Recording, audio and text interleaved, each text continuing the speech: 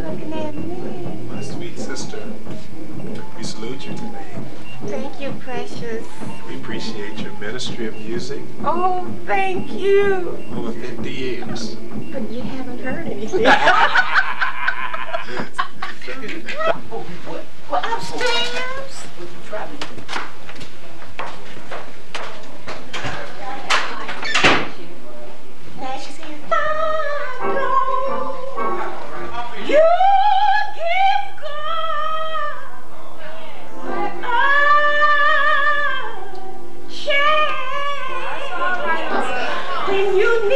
help with. All right.